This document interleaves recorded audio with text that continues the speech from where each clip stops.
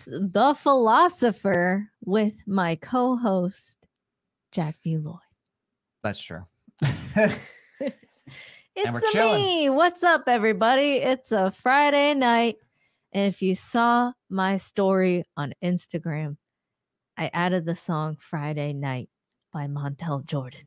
Cause it's Friday night. Am I gonna be taken down? Um, We're hey everybody, by the IP police. Who believes in IP? Not I. Not you. If you're uh, just coming in, make Not sure to go by Kinsella. the YouTube, YouTube forward slash. yeah, you want to go to the YouTube. and drop us a comment so we can where- see who's all here. Let us know if, if you're on you. by, and uh, we'll, we'll post the on up here and give you a shout out. But we got a interesting. oh, uh, hey, topic. Mercenary BD, what up? What up? You know, we're going to talk about critical thinking tonight.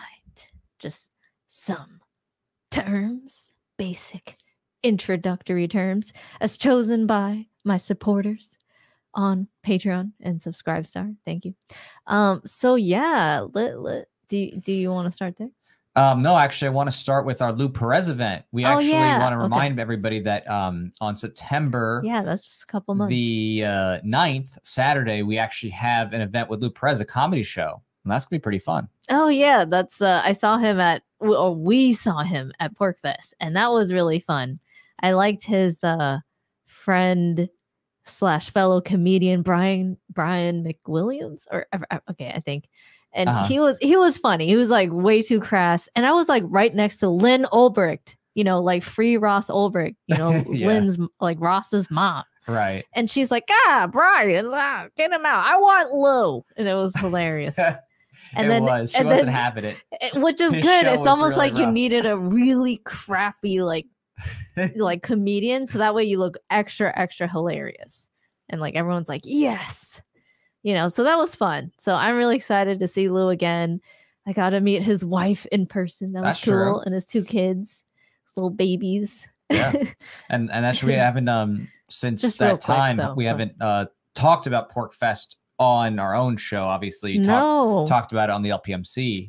Yeah, Yeah. we uh we were on the Mises Caucus podcast. Uh, they have a podcast called the Decentralized Revolution, right? Is that what it's called?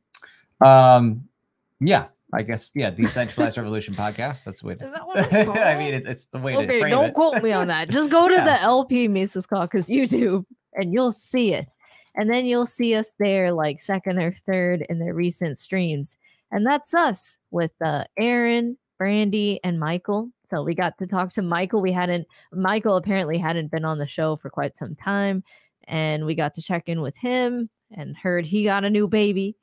Yeah, So many babies. so many people having babies right now. I held Angela McArdle's baby at a PorcFest as well That's true. for the first time. He's so cute.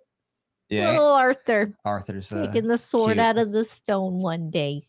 Anyway, uh, so you know that's gonna be really fun to see Lou, and uh, you know I-, I don't know what's gonna happen at the comedy show, but uh, it's gonna be great. It's gonna be great. We'll see. And then um, it's called Don't Shoot Lou because there's three different ticketed events. So if you just want to go to the comedy show, you can, of course, obviously. No one's coercing you. right. There's technically three different Or- events for it. yeah, there's, there's, there's a comedy show portion, there's the gun Yeah. range portion, and there's a VIP portion. So it's Yes. structured where you can choose to go to one, two, or all three, up to you.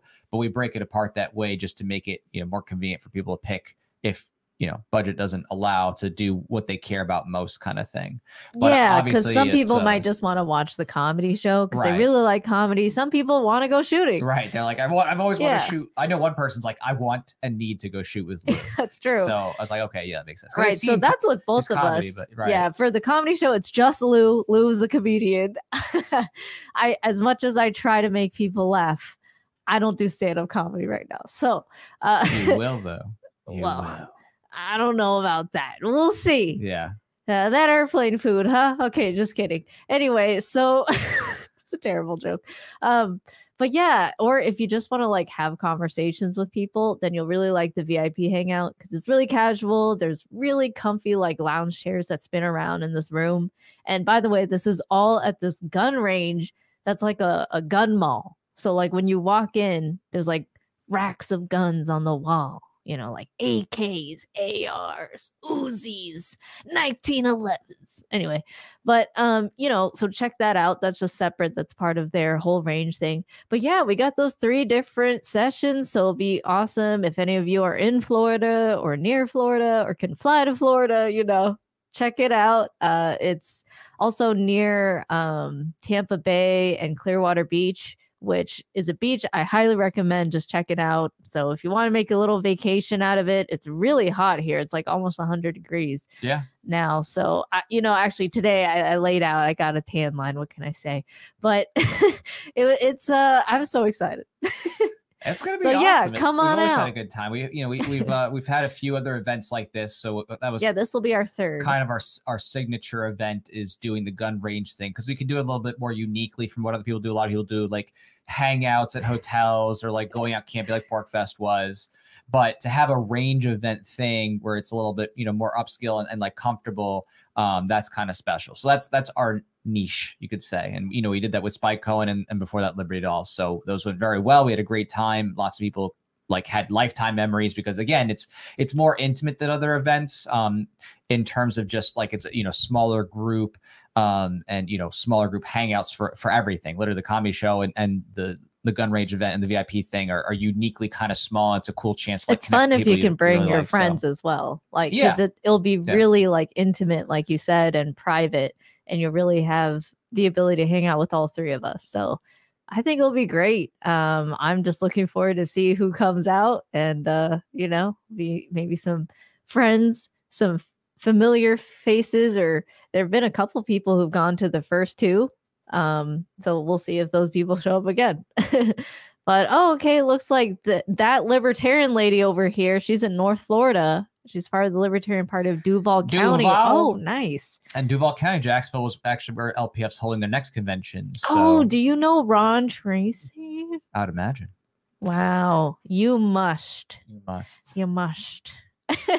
so Ron's really cool. Um, anywho, uh so. yeah so i'm excited that hope to see you guys there and uh yeah actually uh try out some different pieces at the range it's been a while so. yeah if you bring your own piece you, they have rentals there as well so we're going to be shooting those specifically on they sell ammo the handgun lanes so that's mm-hmm. a 15 yard lane so unfortunately, you know, if you're shooting a rifle that doesn't have handgun ammunition, you know, we won't be on that lane for the event, but you can shoot, you know, carbines or like, you know, if you have an AR chambered in nine millimeter or whatever, you have, you know, 22 LR ARs, whatever, you know, you can shoot all that good stuff. So you can still shoot rifles and, and carbines as long as, you know, they're just chambered in yeah. pistol ammunition. And we just do that because it's, um, it's like the range that is kind of more exclusive and it's a little bit easier for us to like book that venue as opposed to like the main range that's you know kind of hard to do because that's where everybody wants to be.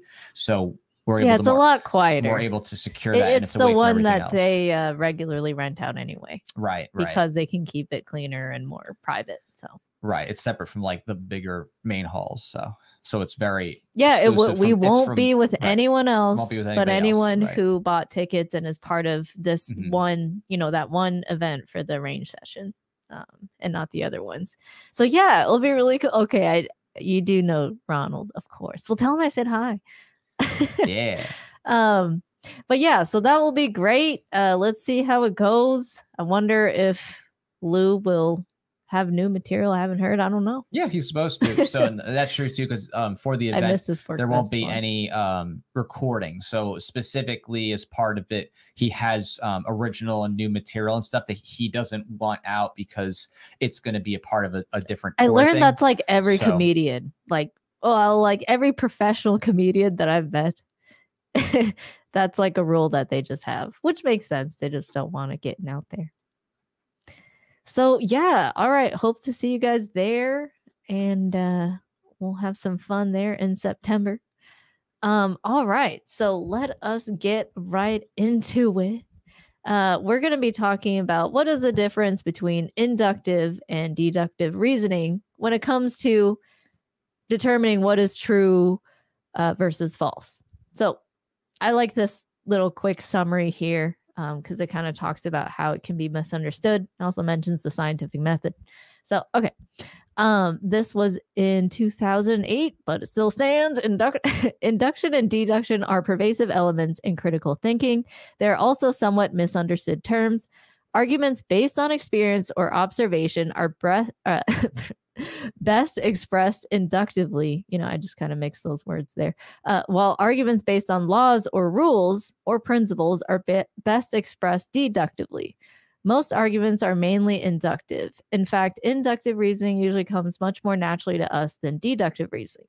So just to say that it is more common for most people just based on th- base things off of their experience and like direct observations, as opposed as opposed to starting from first principles and then like uh, going from there and then like trying to make conclusions from there.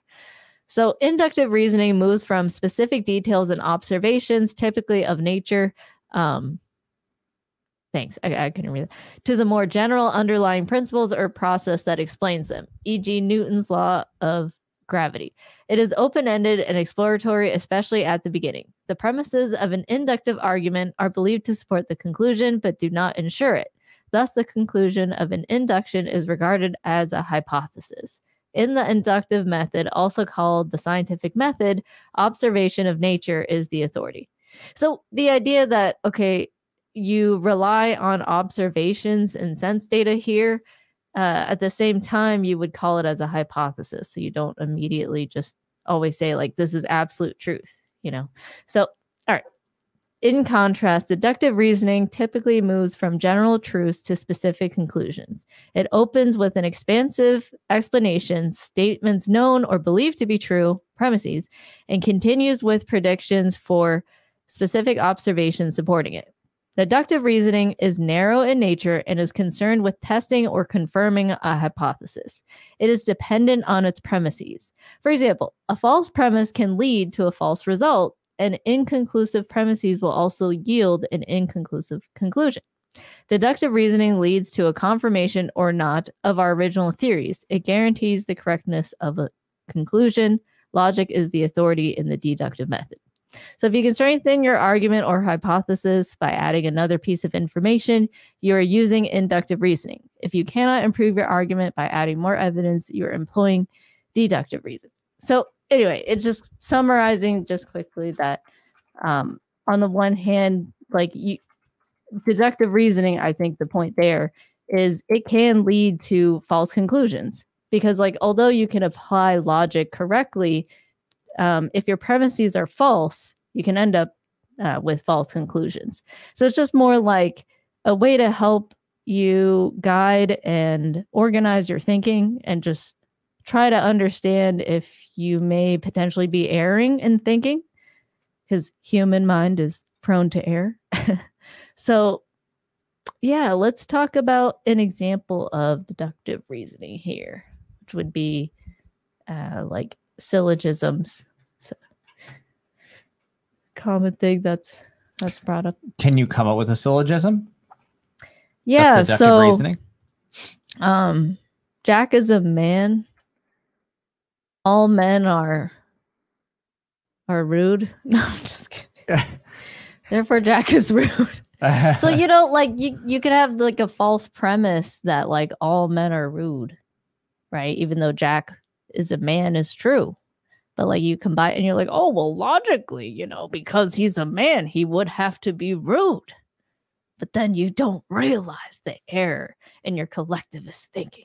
Well, that's a good example there of um, right. If you can have you can have a, a valid conclusion um, in terms of its logically flowing from start to finish by saying, you know, all men are rude. Jack is a man, therefore Jack is rude. But if your mm-hmm. premise is flawed, then it doesn't matter if that, you know, is has a valid construct.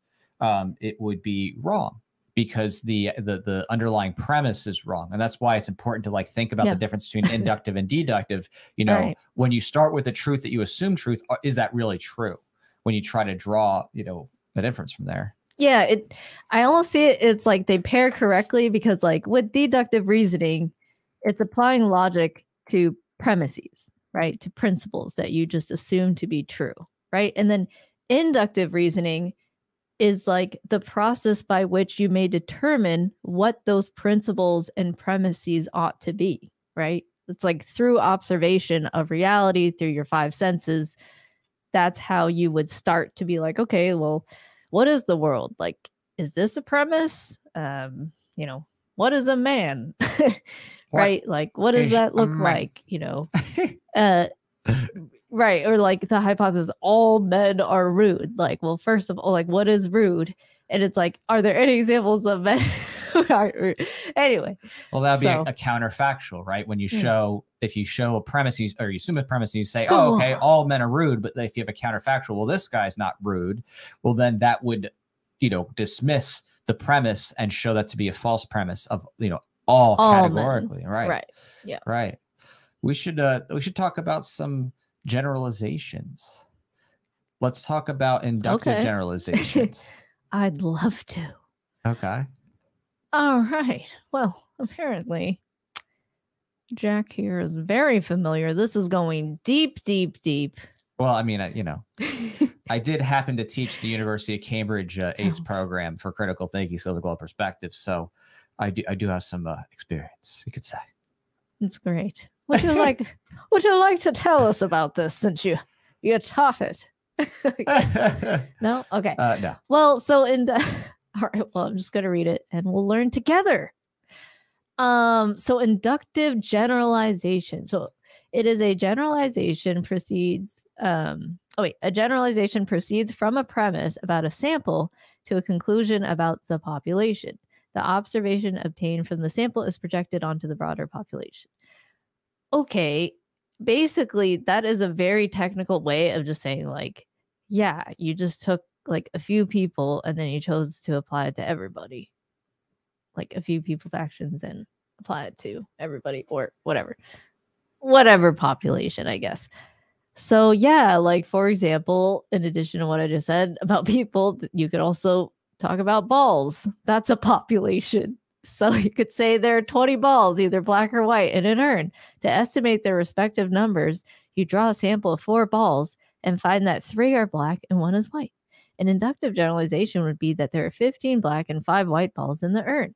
Right. Because just taking a sample and then like trying to be like, I know the truth, even though like you actually don't because you didn't see everything. And there is no like ought in that case if you don't actually know the nature of what's in that urn, that it would be exactly the ratio of the sample that you just so happen to pull out randomly. Right. It's like it's when it, when people make an observation about something and they see Mm-hmm. a little bit of a sample and then they go, "Oh, well, that must apply to everything else." Right. In this case, Yeah. it was balls, you know, in a urn, aka like a vase or vase, depending on where you're from. Um, Vase. and you're like, oh, Right. okay, well, if there's 20 in there, and you know, there's some four that are, uh, you know, uh, that you're taking out, and three are black, one's white. Oh, I wonder if that proportion keeps going, right? So some people try to make those generalizations from a sample, you know, and obviously, you know, in statistics, it gets more advanced with with doing um, significant samples and and randomization, but that's Mhm. that's kind of a way that people will think about that. So let's take a look then at statistical generalization, like uh, a little bit more specifically. Okay, great. So, statistical generalization is a type of inductive argument in which a conclusion about a population is inferred using a statistically representative sample. For example, of a sizable random sample of voters surveyed, 66% support measure Z, therefore, approximately 66% of voters support measure Z. The measure is highly reliable within a well defined margin of error, provided the sample is large and random. It is readily quantifiable. Compare the preceding argument with the following Six of the 10 people in my book club are libertarians. Therefore, about 60%. Wait, this is on Wikipedia? Yeah. Oh, that's cool. the Overton window Clearly, there must be, continues to shift. the libertarians got control. Or they've this. infiltrated this Wikipedia wiki page, page. What yeah. is this? The inductive reasoning wiki. That's so random.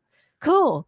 Um, all right. So compare the preceding argument with the following. Six of the 10 people in my book club are libertarians. Therefore, about 60% of people are libertarians.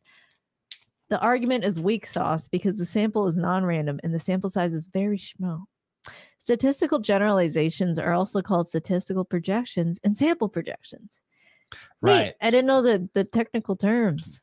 Right. but so that's there like you go. That's something to right it's, that's why it's important to think about you know when when you have a certain representative thing someone says oh statistically right people throw that word around a lot but they're not Yeah. actually like talking to the the truth of how accurate that sampling was how exhaustive it was you know what the potential error is and so you know sometimes people do a little bit of math in, in statistics but it's not it's not really um representative and so there, there's always that issue and people who try to extrapolate from small anecdotal experience you know say like they said with the book club like oh you know 60% of people must be this Right.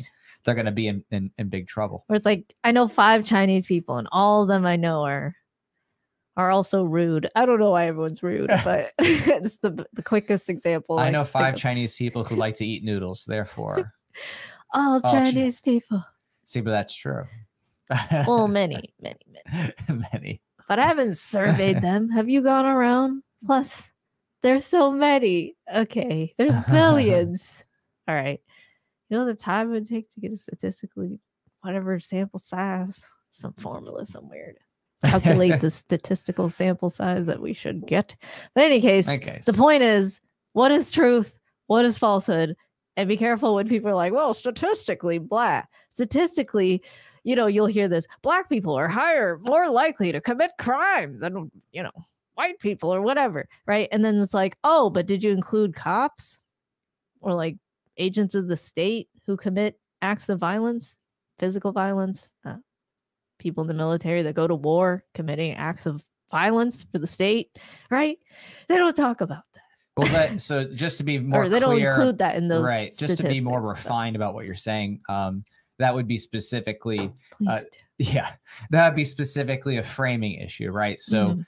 um to get a little bit away from the, the uh more controversial labeling and get to the root here the question is is how is the category labeled right? So for example if something is labeled a crime that means it's breaking the not only is it you know breaking the law of whatever the government has down but it also means that the intake process focused on those people. Because obviously lots of people do commit harms and things that would be crimes but it doesn't mean that they were prosecuted and successfully convicted.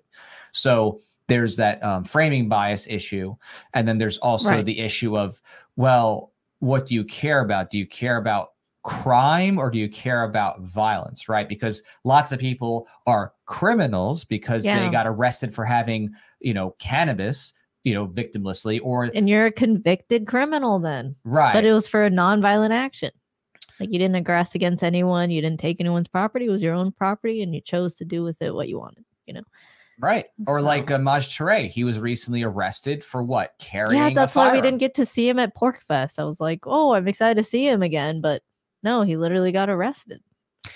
And I, I think that's just a, outside. it's a great example right? Okay so now Maj Touré is a part of the black crimes or you know criminal arrest statistics right? He's now an arrested black man for carrying a gun. And his That- bail was so high. Right and um it's ridiculous. basically right when you look when you look at that you're like oh okay you can really understand how that system of framing bias works in reality because you know Maj Touré, he was on a, a live stream with, with Tom Woods for School of Life. He wasn't doing anything violent to anybody. He was just carrying normally. And because some officer claimed that they could see a print, you know, through his whatever he was wearing of a gun, they arrested him. Right. So Yeah. this that's a good by the way he made bail i'm just saying like the bail was high he, he's out yes. so So yes, because when you saying- pay for bail, you go through you know a bail bond agent, you pay ten percent. but they're extorting you. They're saying, "Hey, we're gonna we kidnapped you and we're keeping you locked up unless and until you can pay us this money." So right, or get a, a bond agent to do it for you on your behalf. So right, basically, um, you know that's that's a really great example, I think, into thinking about the framing bias issues. Uh, Mhm. when you're differentiating between okay what do you actually focus on? What does this information represent versus what is the actual concern that you're focused on? Are you fo- focused on crime and whatever the government is and does? Or is it okay i'm worried about whether someone is like breaking into my home at night or whether someone is you know trying to murder me kind of thing right? There's a big difference between that you know as as you know between what the government says is criminal and you know what a libertarian voluntarist thinks of as an actual harm so. Yeah. And then on a different note or additional note there, it's a good reminder to why you would want to check what definitions people are using because people may be using like your idea of what a crime is may be totally different from what is written in, you know, an MSNBC article. you know, they they think carrying a gun, for example, is a crime, right? But you may not, and I wouldn't, you know. So um, that's definitely something always to check, like whether you're engaged in a debate with anybody or reading something that they've written to check what definitions they're using, um, depending on you know what exactly they're asserting. Especially if they're making a claim about something, you know, you should understand like what they mean by it. So, right. Essential libertarians. oh, Kareem hey, said, thank you. little super chat. He said, question, Jack, if I know a lot of Oh, ANCAPs read Rothbard cool. just saying, Like I don't know if that's a question as much as a declarative statement, but unless you have something else you want to ask. Oh, is that like how a lot of ANCAPs have read Proudhon? Yes, I'm an ANCAP who's read Marx as well. I don't know. That it seems more Right. declarative than a question. Uh, was like, is was Maj arrested? Yes, Maj Toure was arrested for concealed carrying in Philly, and the the While he was live streaming live a. Tom Woods um, School of Life, uh, like a class, right? Like he he was one of the. he was doing a, a, a presentation session. for school life, right? So he was presentation, he was arrested on the on a live stream. So because again, the, the cop was like, "Oh, I I saw him. He's printing." right.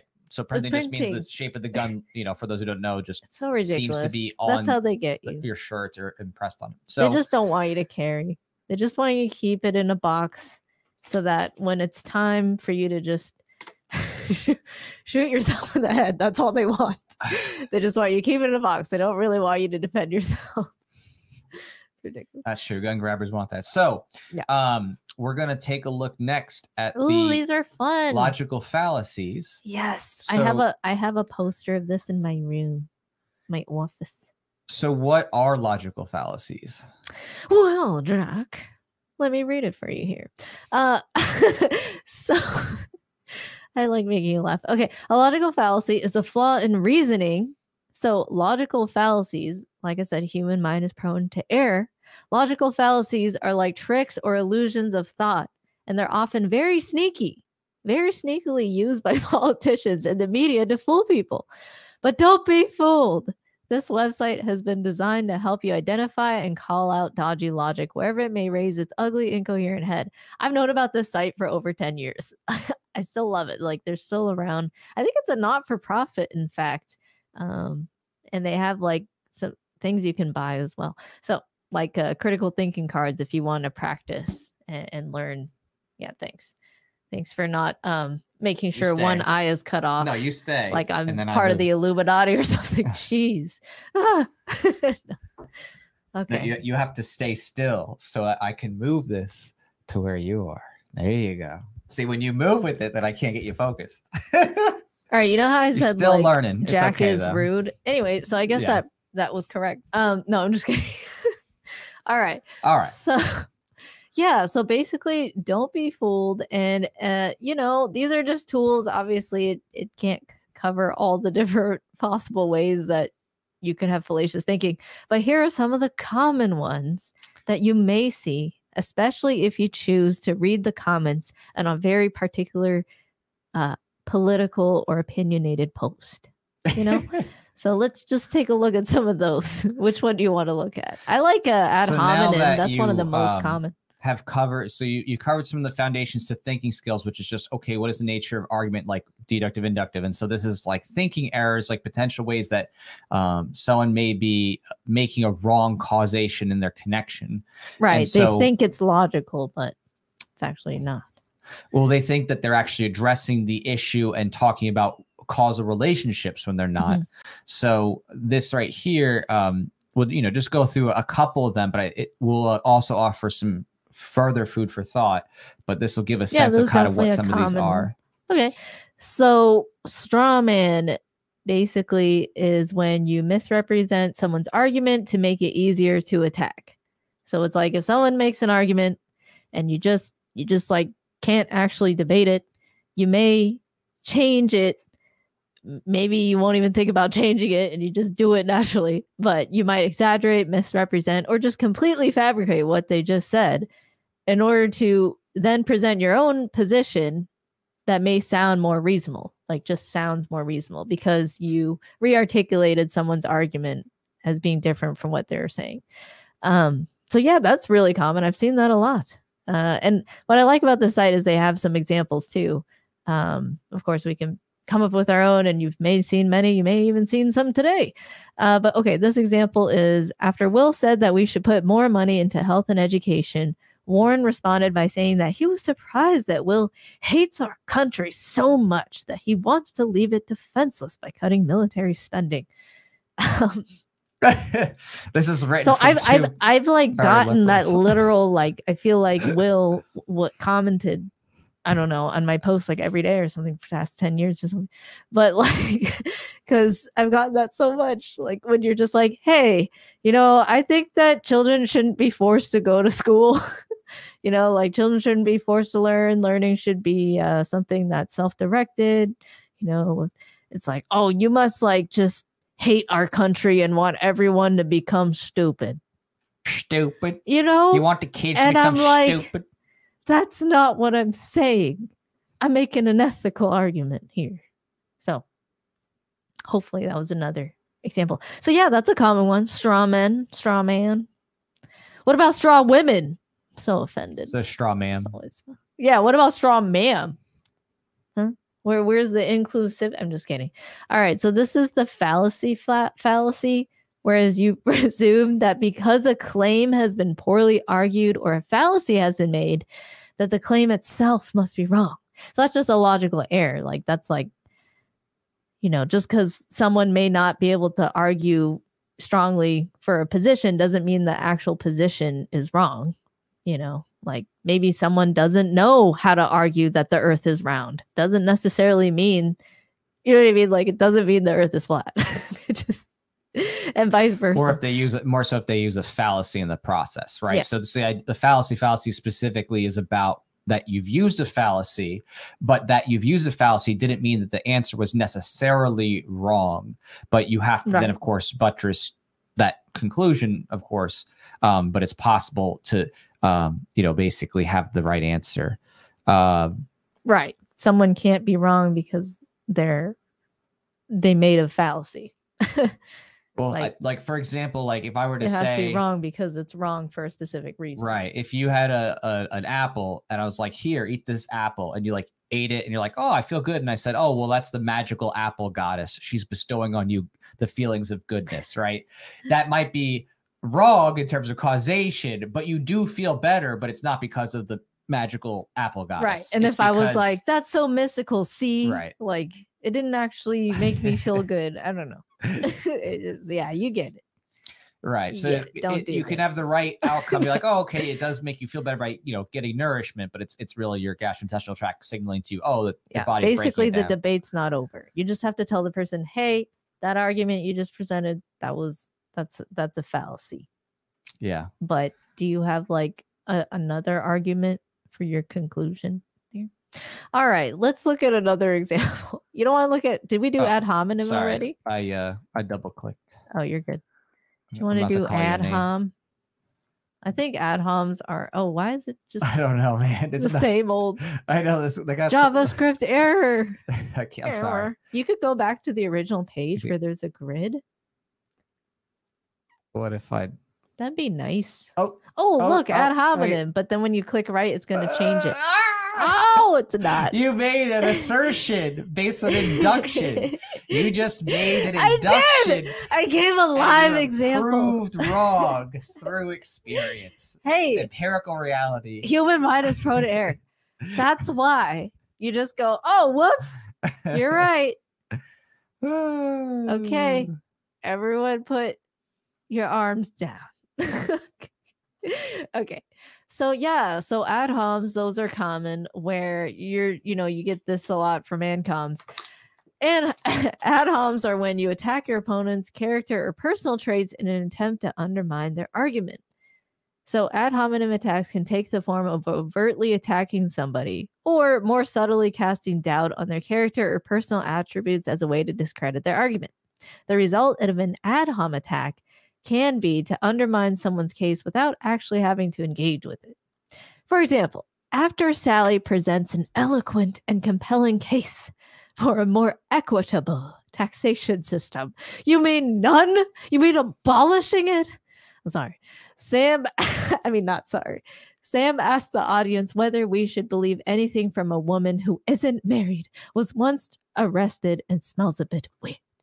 So basically, you can see that Sam could not give an argument for why there ought to be higher taxation or whatever he's arguing for. You know, just not. He just wants to throw shade on Sally over here and say, look, Sally smells weird. Ignore this woman. Like he's literally just going, she's a witch. Burn her. Right. It's the modern uh form literally? of it. No, not literally. It's just like figuratively. It's like yeah. Yeah figuratively. That's good. Cool. So that's a common one. Look out for those. And you know, one of my favorite ways to respond when someone is fallacious, like they just say something, it's like all it was was a fallacy.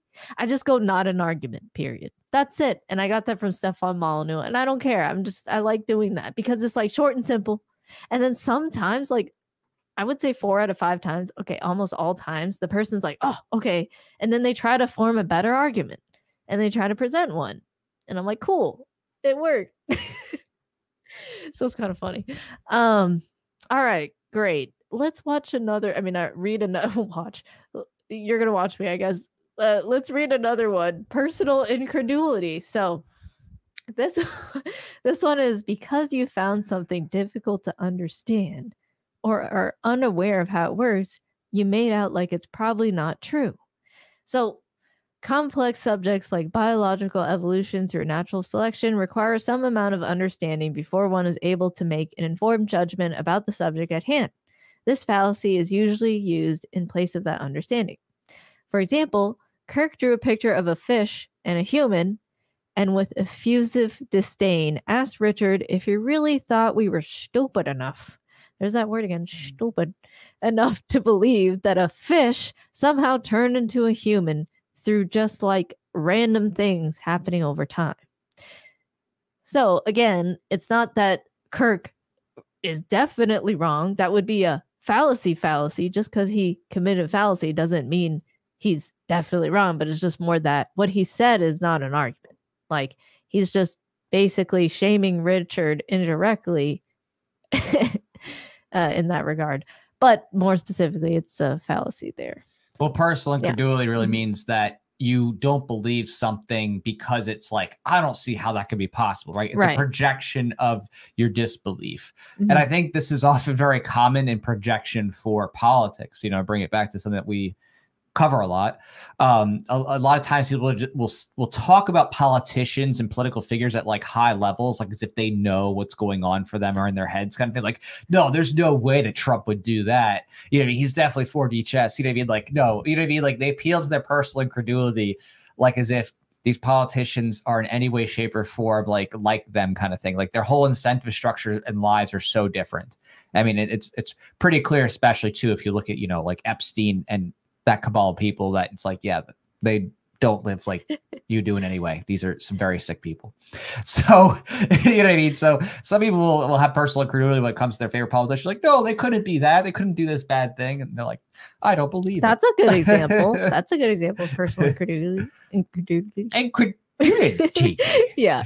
I'm sorry. I was just also smiling reading some of the comments. Someone's yeah. like, Sally smells weird. Ignore her. GIF creation begins.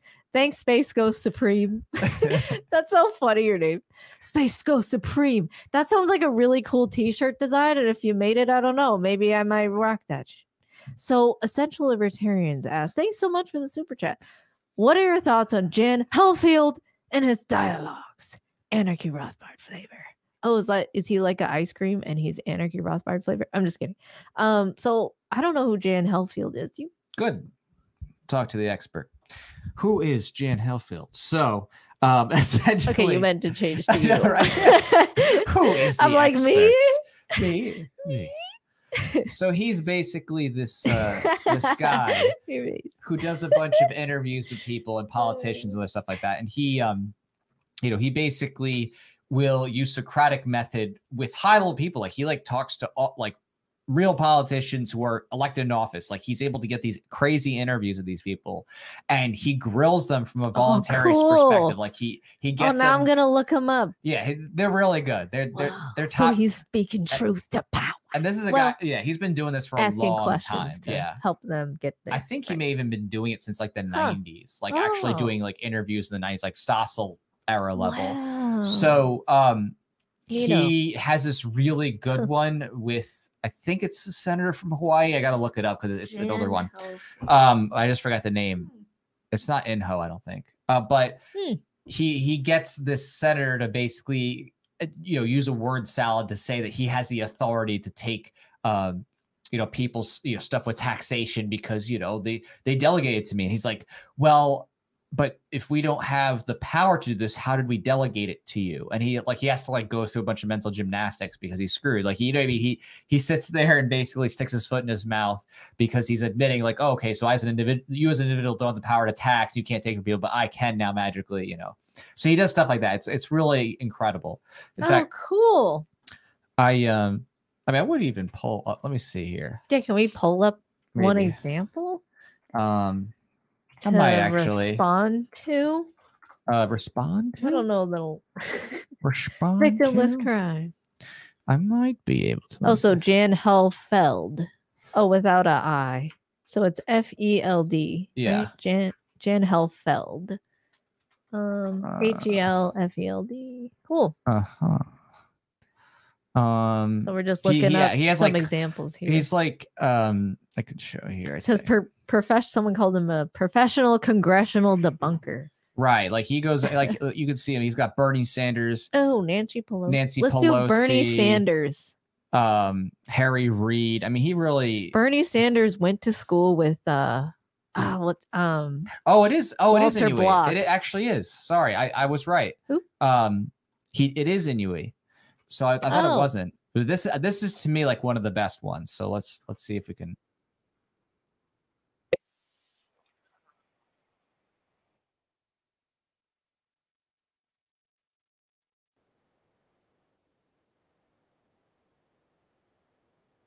Oh yes.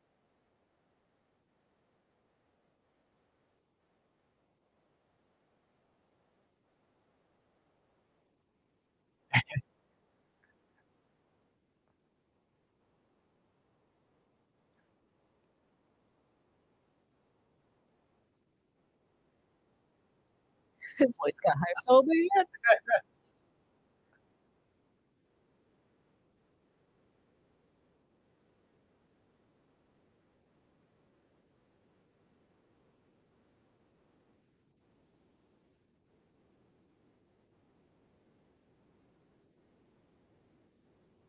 Oh, someone said muted, no sound.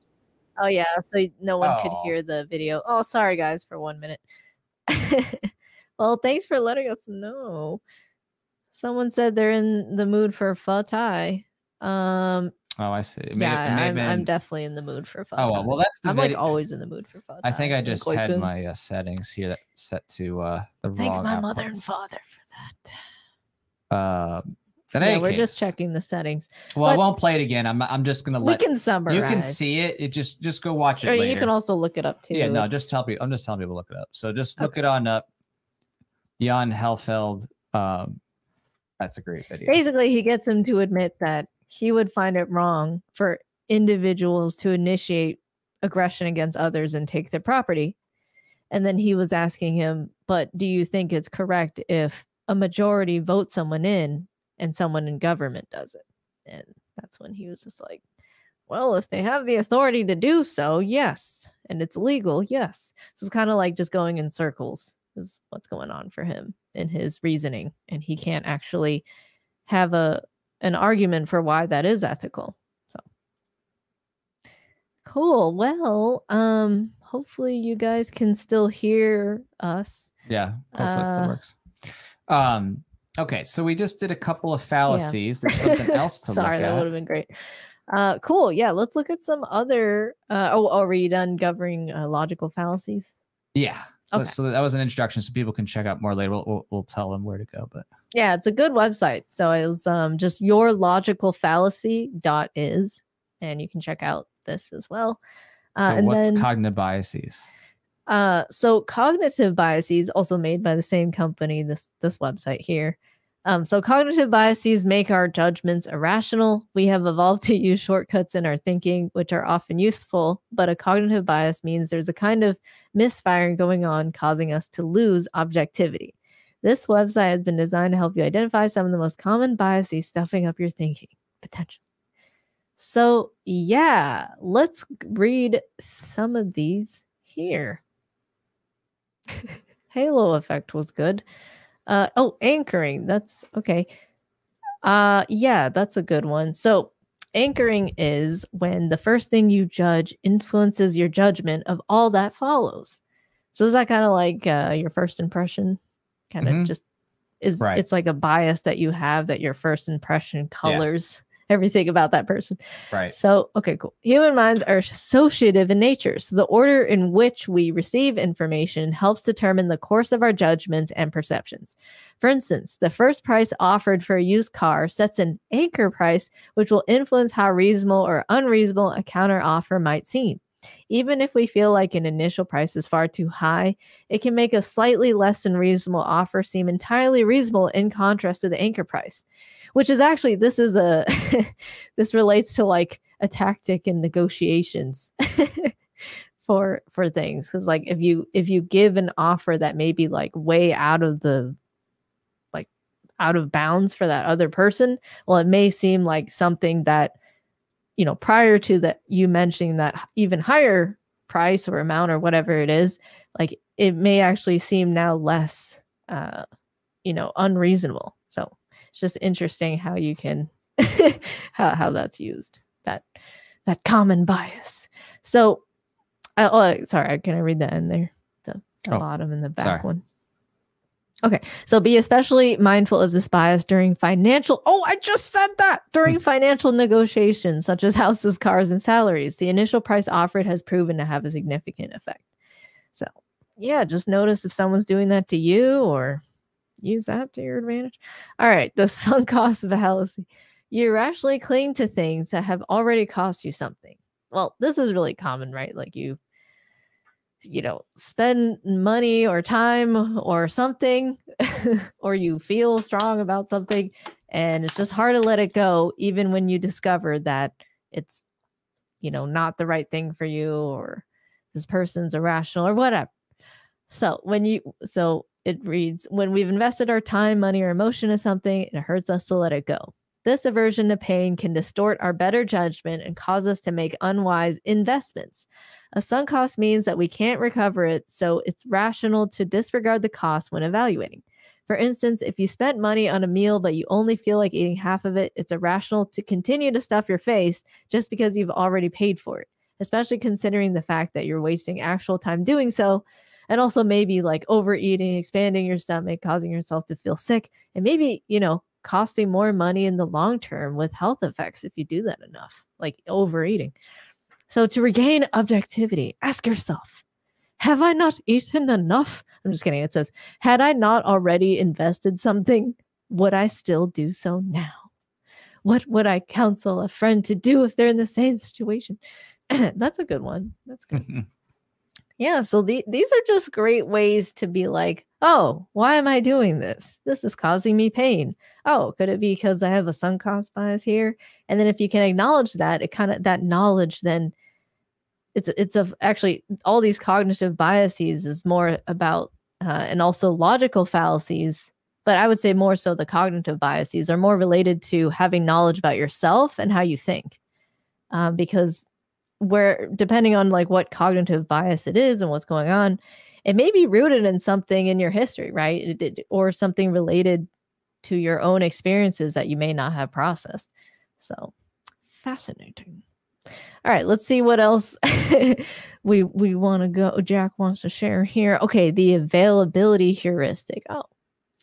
Uh, your judgments are influenced by what springs most easily to mind so, how recent, emotionally powerful, or unusual your memories are can make them seem more relevant. This, in turn, can cause you to apply them too readily.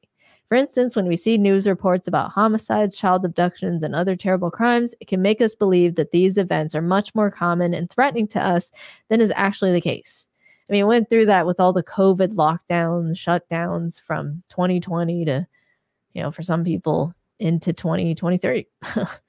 um, but well, and I would say the gun the media cycles, with, like, like, it's very intentional. gun control. Whenever uh, Yeah. people see lots of news stories and they see Mhm. like, oh, there's a mass shooter or something like that, people Right. start to be like, oh, that's normal. They're happening yeah, they It's make like, conclusions, not. right? They start to make conclusions like, "Oh my gosh, we needed the government to come in. It's a crisis here. We have a gun crisis in America because they turn on the TV and because it's whatever, you know, May, the bloody month of May, they need to like show a bunch of horrible, you know, shootings or whatever. Like, and then people watch it, and then if they don't have long term thinking and you know a contemplation that they might have a bias like this they may immediately act and react to to seeing all of those you know horrible uh, videos and images of people suffering and dying and being murdered so Well, And right, that's yeah, that's and that's seize what the news does. Is that Yeah. normally you think of news as being something unusual, right? If something's Right. newsworthy, it's like, oh, okay, it's something that's unusual, right? You don't. The news isn't, hey, this is the most common thing that people are doing. Oh, look, this person's just pooping, this person's eating, right?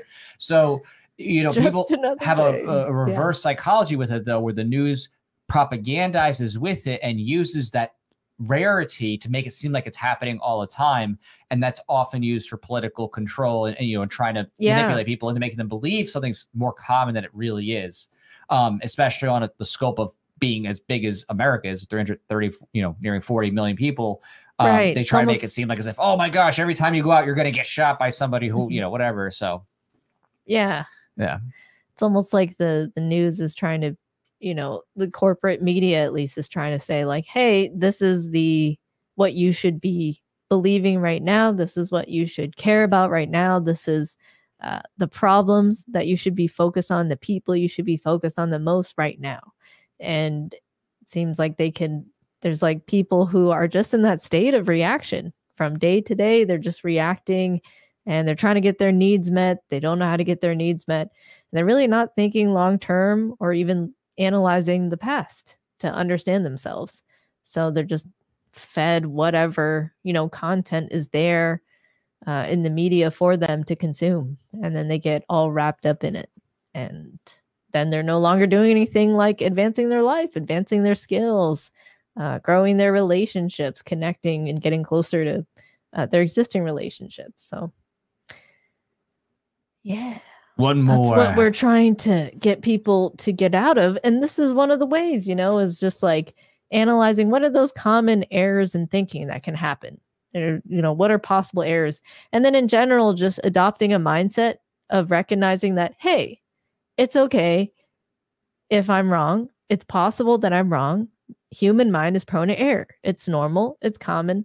And the question is, how do you figure out and take it, you know, take a step back and determine what the truth is. Uh, but you don't get there unless you are open to being wrong and and open to actually exploring what what it is. So, all right, let's cover another bias here. So this is in group bias. You unfairly favor those who belong to your group. Uh, yeah, that's pretty common, especially if you went through like the public school system. it's like a really common one you see gang gang right. Yeah like whatever your group says then you all suddenly start dressing the same or arguing for the same things and maybe you don't want to be outcasted so you're going to just pick up their same ideologies of most people all right we presume that we're fair and impartial who's we no okay but the truth is that we automatically favor those who are most like us or belong to our groups this blind tribalism has evolved to strengthen social cohesion. However, in a modern and multicultural world, it can have the opposite effect. Try to imagine yourself in the position of those in out groups while also attempting to be dispassionate when judging those who belong to your in groups. Okay, cool. Yeah, that makes sense. So it's just like trying to, uh, right, imagine that whoever you're talking to is somebody else if you want to just see whether you're unfairly favoring them. Right. Just that you, you know, you might be like, oh, you know, they wouldn't do that. Like that's that's my particular, you know, friend or clique, whatever, like that. And you know, for others, you're more basically discriminating or more, you know, just be like, oh yeah, they're not with us, so that they must be wrong automatically, kind of thing. Right. So, so that's just kind of a nice little uh, sampling there of yeah, it's a fun the- web, two uh, fun websites to go through and just kind of look through and think about your own life, the own, your own times you may have committed logical fallacies or, you know, had a cognitive bias going on, or people you knew, especially in matters of of conflict. And um and with that um Yeah. you know the websites we just checked out your bias is dot is is a great one and i think before it was uh, your logical fallacy is those are great uh, Oh, starts um for check out this up but we also uh, recommend highly I have both of if you- those posters, you the do way. have both of those posters in your room Yeah, I've had them for like eight years now. Still up. Still go over to look. Hmm. Yeah, they're really big. They're like like half my body size. yeah they're like three feet Yeah, they're huge. Right, more than half my body size. Three Yeah. fists. All right. So so i was just gonna say really wanna- quick yeah, yeah. um the tuttle twins uh actually has their own books on these topics they have the tuttle twins guide to logical fallacies they Yeah, also um have the tuttle twins guide to beware your bias so these are great books to have um especially you know if you want yourself to kind of get a sense of of these principles and these ideas and they're also really good for young people too they're they're teen oriented but i think teen to adult can read them um but they're you know when you get these books you're at least supporting liberty what kind of reading company, level so- would you say? Like uh, we have them Fifth grade, sixth grade, or Uh, I don't like to think about it in grades, but I Oh. think that it's it's something that Yeah. um, you know anyone who you know is a decent reader, twelve plus, could read no problem. Um, and I think I think they're uh, you know just excellent books overall to um, to have. They're great, you know, for both even for adults. Again, it's it's a good book to have if you want to like freshen up on logical fallacies. And we have links to that in the description below. Um, obviously, supporting people who love liberty is much better than supporting the uh, the neoliberal uh, or maybe just regular liberals over at your fallacy is, which they have some good stuff there, but you can tell from how they frame stuff, they're like very, you know, clearly very s- status leaning, even though they have some good stuff. So um, definitely check out have some good Tuttle stuff. Twins because they have they have uh, great resources here. And uh, you know something else that is going to be coming up real quick. Yes, freeze. Oh, Funny memes. phony memes. Phony meme. Yeah, That's it's like actually funny. Like, because you say fa yeah, and then ni, funny. funny. So it's actually just funny. Still. Oh, okay. Or if you have like a really strong Vietnamese accent, then it'd be like funny. But I I don't. That you don't. All right, but before you get to the funny memes, we have some people. yes, we drink this coffee every day, and like I never grounded gr- grounded my Ground. own beans before, and now that I have, I'm like I'm not going back to like pre-ground. So I really like Custom Joe roasting because like when you order, that's when they roast it. And we met him and his wife. He's really awesome. Um, and uh looks like this code is still good, even though it's 2023, folks. That's right. It may or may not work, but either Okay, way, well, just get if the it doesn't, let Get me know. coffee. And if yeah, and you if you really need that 10%, like send me an email at the pholosopher at gmail.com. That's you know how to spell the pholosopher. Okay. So yeah, cjroasting.com. It's organic coffee. Uh, and I tried, we got their uh. Asian pack. So Yeah. we haven't tried all the different flavors yet. Um, but we've gone through our first two pack of beans uh, that I grounded myself. On our previous live stream, not like the most previous, maybe like two or three ago, we actually uh, ground them live. yeah, Like I held up the grinder and I grounded all the beans, and then I made some coffee. It was really good, it is good. Added Actually, I like it. some, I've been drinking every day. organic Mhm. milk creamer. Oh, so It's or nice when we milk. have people that are uh, nice enough to to sponsor the show and our and stuff believe who in make good stuff, right? Yeah, Because I don't want crappy products. So at least this is like we personally have tested the coffee and we're like, oh, okay, it's good. yeah. So I can stand behind it. I have drank this now for many weeks. yeah. So thank you, Custom Joe Roasting, for being one of my producers on uh, Patreon. Thank you so much. I really appreciate your monthly support. And uh, yeah, check out that coffee. Keeps us going every day.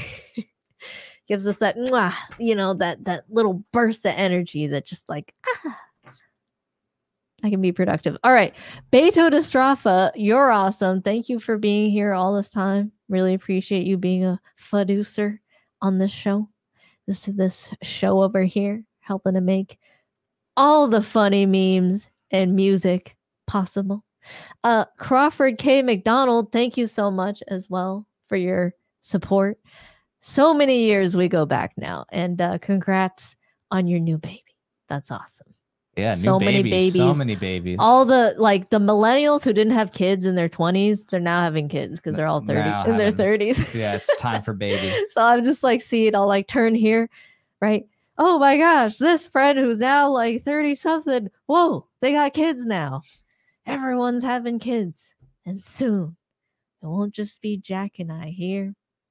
Maybe you'll hear a where in the background. And hopefully our child doesn't sound like what I just said. That'd be weird. like that'd be a weird one.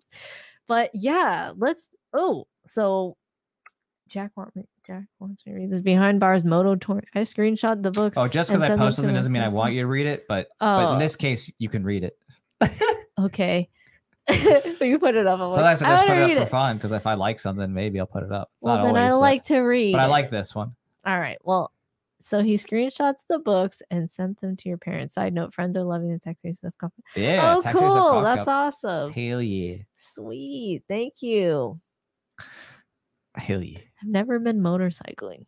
Ever since I tried a dirt bike once, and You I dirt went- biked? No, dirt biked. Oh, Sorry, English is my third language. yeah. Uh, sometimes I, I mess up on some words. yeah. That's true. Uh, okay, cool. Let's go. Yes, freeze. All right. Yes, please. Is that the first meme? Yes, please. You The- saw the. no, you've been it. seeing the memes. That's just the first. uh, I've been giving you phony memes. All right. I mean, funny. Okay. When you're built for feed, not speed. that is a fat little horse. It's so small. Yeah. Gosh. This is terrible. Oh. No one. Instagram models. Why is the dog?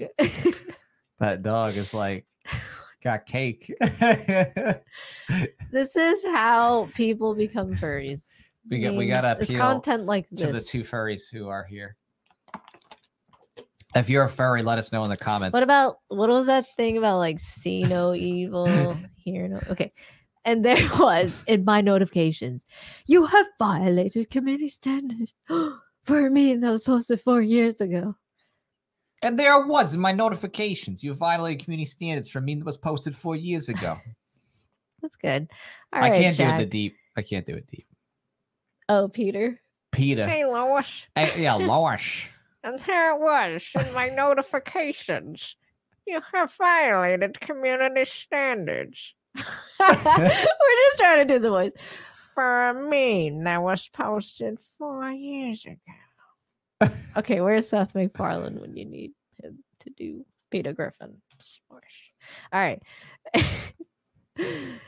I like accents. Okay, you were homeschooled? That's unfortunate. Homeschoolers don't know how to talk to strangers. And yet here we are.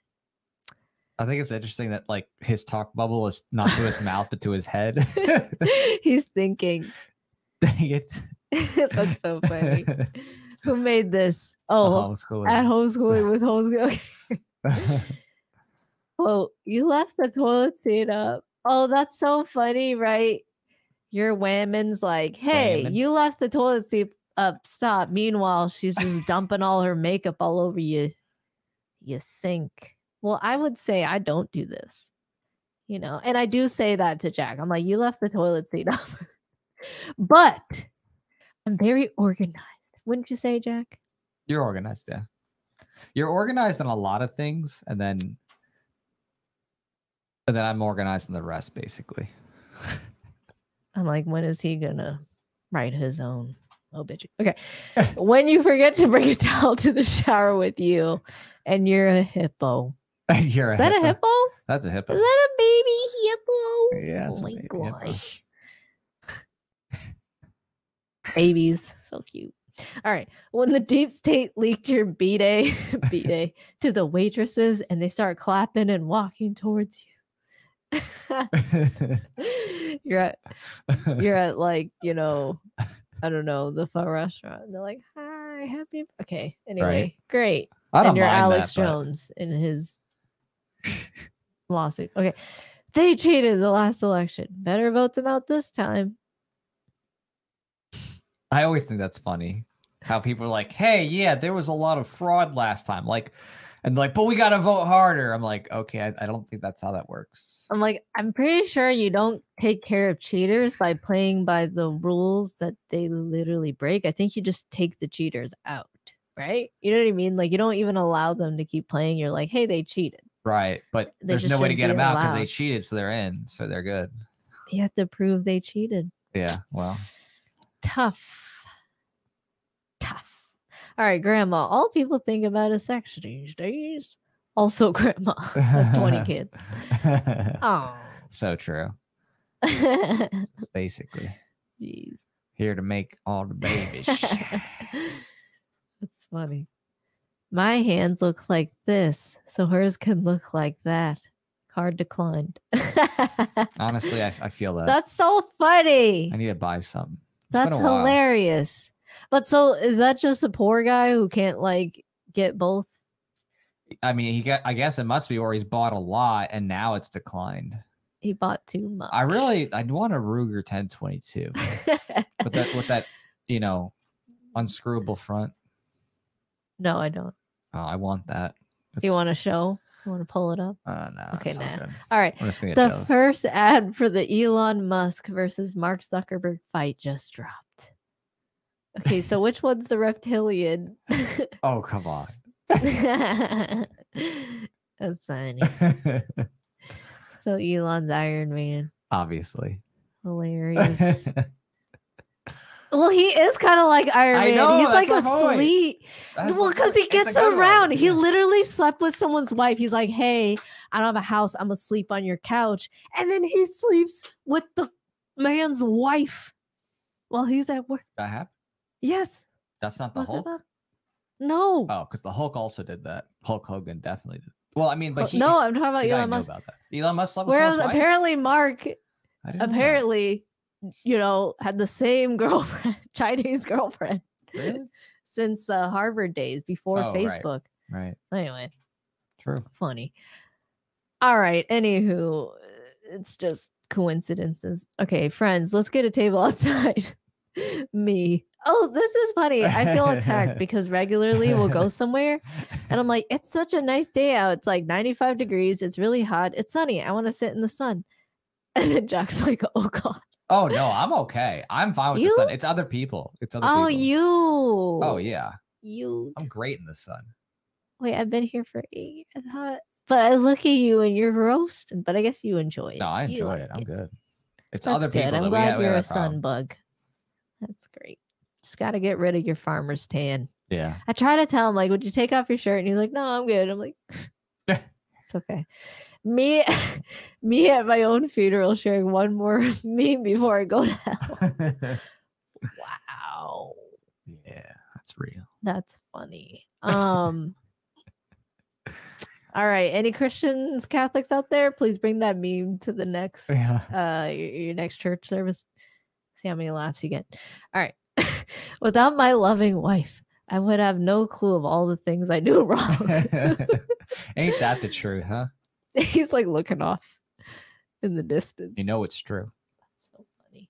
Well, and vice versa, right? Without my loving husband, I could just make the girl version of this, but then because I said without my loving husband, I wouldn't be aware of all the things I do wrong. All the women, not all the women, but a lot of like crazy women come out and be like, oh my gosh. Okay, whatever. Anyway, but it's funny when you make fun of men. Men are like that's allowable. easy, You know what I mean? Like in. America, it's allowable to say men are dumb, husbands are dumb. If you Mhm. say like moms are dumb, wives Yeah. are dumb, attack. They'll get mad. They'll get big mad. Yeah, my fellow women You know, it's Fellow all women. part of like keeping the patriarchy down. You know, it's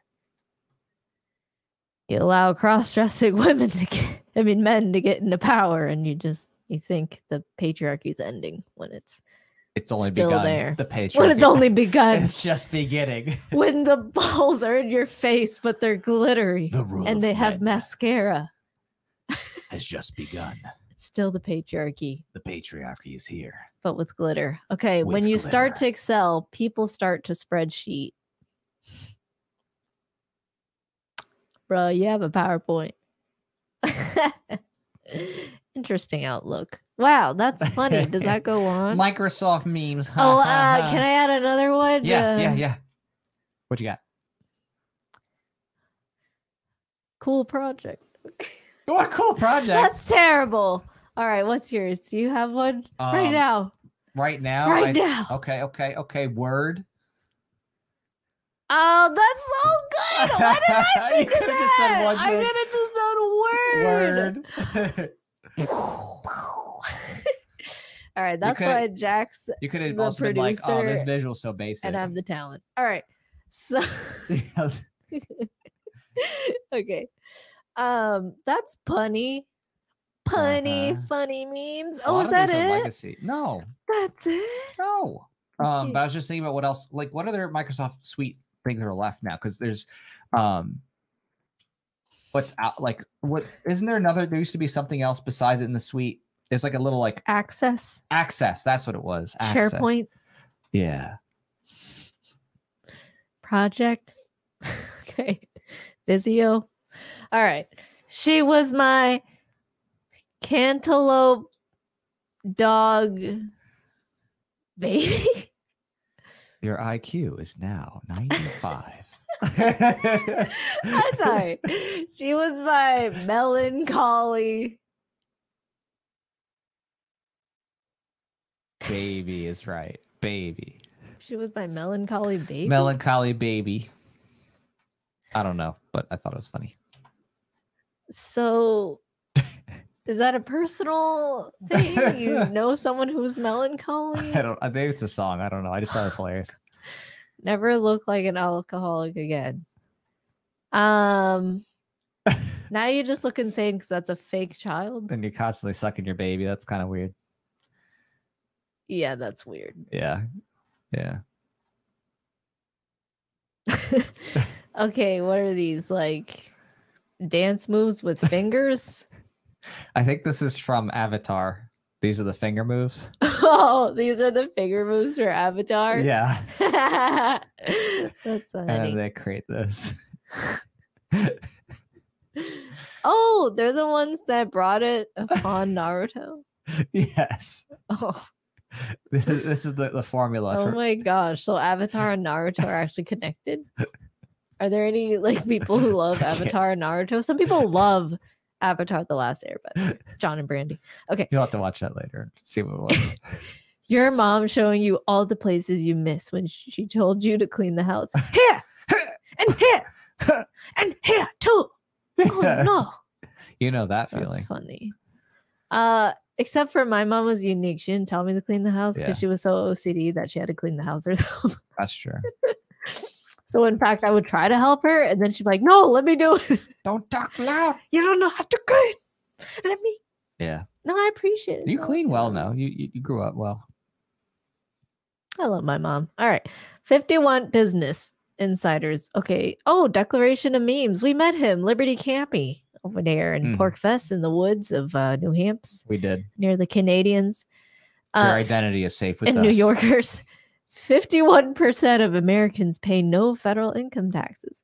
Whoa, we're halfway there. Yeah, that's Bon Jovi. Hey, Hey. that's cool. Who's that? Richard Nixon in the on the drums. Anyway, it looked like it. Um, them. You need to try this eco-friendly bug steak. Me.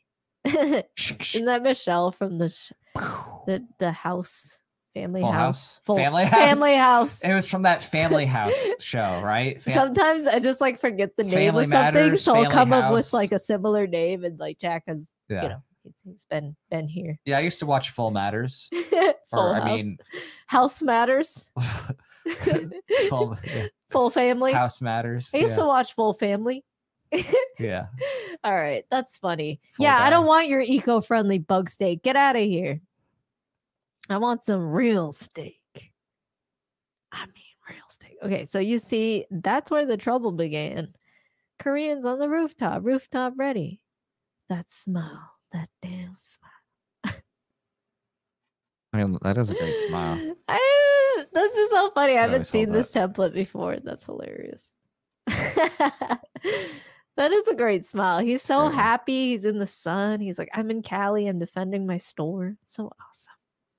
My family didn't move here just to have people take our property. That's right. We will defend. Because you know, America is a culture to those who escape tyranny. And we're here to make American culture what it should be about individual liberty. All right, so Vin Diesel says when your estimated time of arrival on Google Maps changes from 1127 to 1126. Oh my gosh. So Oh, fast and furious. Can we show that Vin Diesel meme where he's like, anyway? That's from last time. All right. Who built the roads before 1913? Who built the roads? That's funny. Basically, people. Okay. Finally got the food pyramid figured out. It's just meat. yeah. Just a bunch of steak. You know, I will say I'm not a carnivore. I mean, there's all what I love about the market is you can be there's any kind of diet you want, you know, if especially with the nature of how many people have different allergies and different sets of allergies. You know, you could be just allergic to eggs, just allergic to milk. You could be, you know, allergic to nuts, but everything else is fine. You may also just not like the taste of blood and not like the idea of eating animals and just want to avoid that and just eat plants you know but like that's the beauty of the market and and respecting each other's rights as human beings is like we can actually trade and come together and help give each other and build build a world where we have so many options to choose from and like within a year you could have like try five different diets and just only go to your local store and, and get the things you need i mean it's quite incredible but for me, yes, I am just like I would say I'm like 50% meat and like 50% salad 50% rice. carbs. I try to not do too many carbs now and just focus on like fruits, vegetables, and then like meat is the most filling thing for me. Like, you know, I could have, you know, this much sausage or meat or something, and it's so filling as opposed to if you ate a salad, I could eat like two big bowls of salad and still be hungry, for example. So I just like vegetables because I like the taste. I grew up eating a lot of different vegetables and fruits in addition to a lot of different meats and seafood. So I just like it. But anyway, carnivores. All right.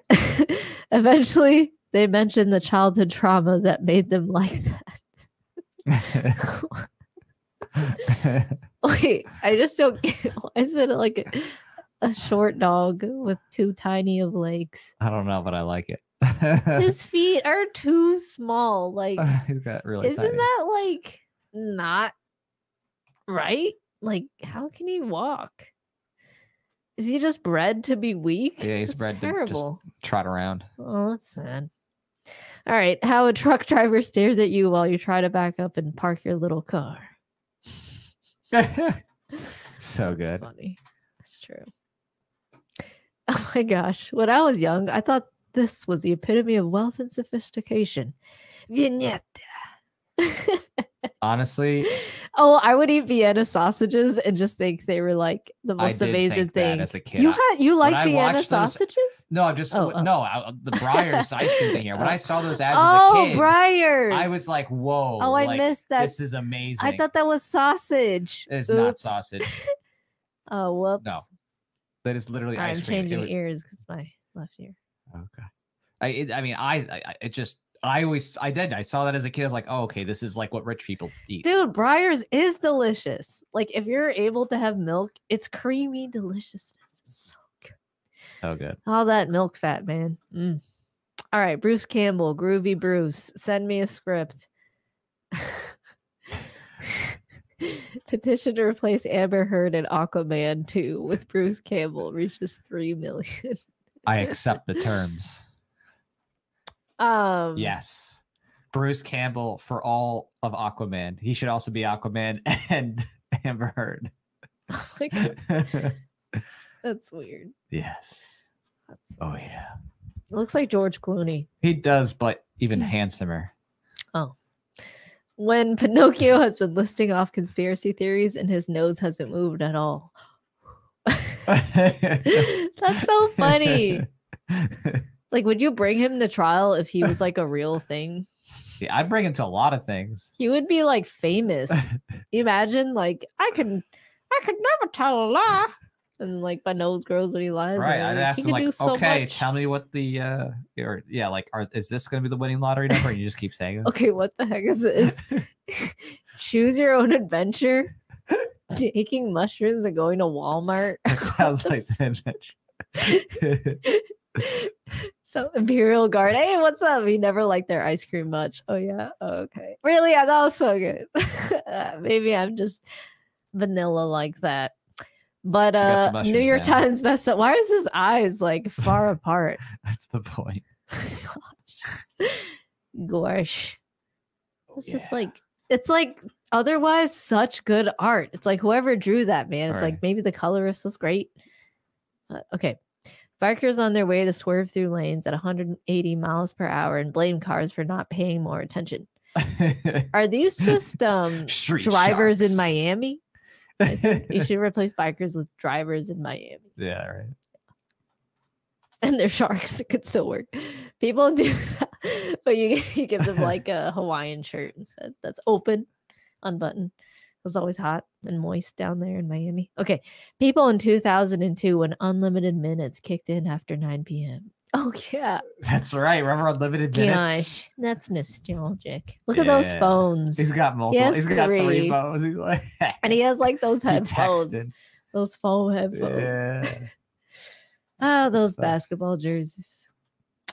Accidents in real life. Accidents in anime. Oh, whoops. Things that Okay. never happen. All you. All right. When you're two blocks from your house and you begin to lose the battle. Um, this this is so much. Yikes. I don't think I needed to see that. Yikes. Yikes. You ever been close to losing the battle though? This is what they want. This is literally the deep state agenda releasing memes about booty holes. Okay. All right, I'm just kidding. All right. What's, is that the last meme? You're going to end on That's that? it. That's the last meme. Gosh. So you're about to lose the battle, Jack? I'm not. I'm great. I, I'm all Good. I'm all set. Well, that was fun. I really like talking about uh, the different logical fallacies that can be had and yeah. cognitive biases and what the difference is between inductive and deductive reasoning is. Yeah, I think It's it was really fun. Yeah. Uh, definitely good stuff to check out. So anybody who's a lot of good about laughs. stuff, A lot no- of good. note through those things and um, you know sharpen your mind with it right check out that the fallacy and cognitive biases page check out those books by Tuttle Twins they're cool and links are down below too for those Yeah. and Um, uh, hope to see you at our event in Mhm. September with Lou Perez. And uh, that's on Eventbrite. So check that out. I think we put it in the description, a link Yeah. to Eventbrite. and also there's But yeah, something uh, coming up cool we're about to shoot the break the great reset music video Oh, yes. That will be fun. Uh, so we have the same producer coming in from, the New same York, producers right that- here and the same videographer from new york is coming down yeah, the one that shot uh, the anti state music video for us. yeah so we're, we're gonna be shooting that uh coming up real soon um it's gonna be awesome we got in the costume Yeah, stuff I've been doing like 50 burpees every day just to prepare. I'm like, I need to be strong because I don't want to go along with the great reset. And I'm going to do my very best to resist. So, you know, so we're going to be doing that. And uh, we have a recurring actor in my mu- music videos coming back. And this time he's going to play a young Klaus Schwab. So that's going to be funny. Schwab. yeah that'll be fun And he's going to be eating bugs and we got real bugs. Well, we They're don't want to give away all the secrets oh, here. okay, all right, As much as you want to. We want to keep some things. All right. Well, then that was just a little teaser that yeah. be on the that. lookout Just take that out of within the mind. next two or three months. You'll be seeing a music video for Break the Great. And it was crazy too, because like we, I was working on the costuming thing up to the last minute. We we had it with our tailor, who we normally work with, and he's done a bunch of other stuff with our music video stuff and other cosplay stuff. And he, you know, kept getting back to me over like six weeks, and then finally, we like we came and we're like, hey, we really need this. He's like, oh, okay. And then he he says he's gonna call us, and he doesn't call us, and the next day he calls us finally. And then when we get it from him, he's like, oh, okay. He's like, by the way, I'm about to go to like you know Greece tomorrow. We're like, thanks. That's that's that's good to know. You know what I mean? So he was going to be gone for months. So we had, if we didn't put that pressure on him, we wouldn't have had the costume done in time. But we we got every last prop in needed up to you know up to the wire at the last second. So we're we're good. We got everything um, we need. But it's it's going to be a fun time.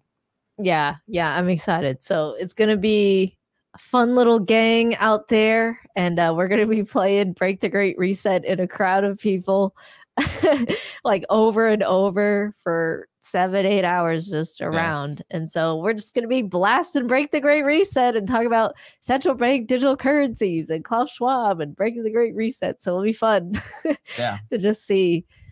And we'll be giving uh, updates so. too, like um th- those who supported on the campaign. Obviously, we get the the behind the scenes little teaser Yeah, video we'll thing. building and then we'll also fun. post maybe one public picture, something like that, maybe some behind the scenes stuff. I think too, you're gonna post to your Patreon SubscribeStar people. So Yeah, but we'll save like most of the video behind the, The video scenes part- for the backers. right, the video So, part is, is specifically apart from the campaign, so the the secret behind the scenes video thing will be sent, but maybe a couple pictures otherwise. And real quick too, do want to thank the Essential Libertarians for Yes, their support. thank you so much. Thanks, Oh, I love your rainbow. and art. thank It's so you, cool. um, Michael Adams, for your super chat. I'm not sure what the thing is. Maybe it's a sticker, oh, a sticker. Yeah, I could probably look at it. but- probably could. Oh, cool. But- Thank you so much. Yeah. So we'll we'll update you soon, but yeah, that, that's what's happening next. And then after that, um, I mean, it's it's kind of secret, but I don't I, I don't mind telling you people here, you people watching. But we'll be popping into YAL real quick.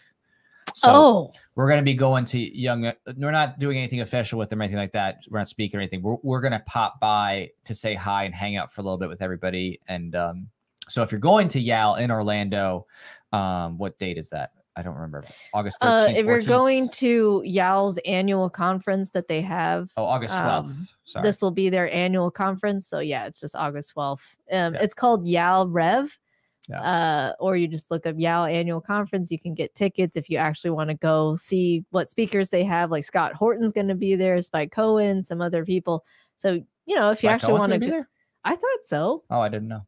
Um, okay, maybe I could be wrong, but I, Could I thought I read know. that. It well, could be, I don't know. verified. Just check out the website, verify. But point is, we're not going. We're just going Saturday night just to see some of our friends. Wait, that's a contradiction. You said we're not going.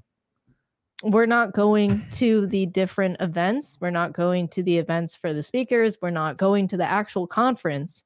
We're going to the hotel where the conference is at. Hey, there you go. So that's the uh, nuance. Well, we'll we'll be by. yeah. We're gonna hang out. We'll probably come by the field and stuff like that when they do that some outside stuff and, and hang out with everybody kind of thing. Yeah. Just I mean, we've been to hi. the conference. We were there for the last couple Several of years, years. yeah. And so we've been to the speaking events and we know what it's like. So again, if you want to go and, and see that, you know, it's cool and it's fun to network there. But Yeah. yeah, we'll just be com- coming to hang out Saturday night. Yeah. All right. Well, take care, everybody. I'm excited to update you on what we're doing with Break the Great Reset. That's gonna be super cool. And then uh yeah, and hope to see you at uh Lou our event with Lou Perez in September. That'll be really fun. Let's It go will be. shooting, get some laughs in. It'll be fun. Yeah.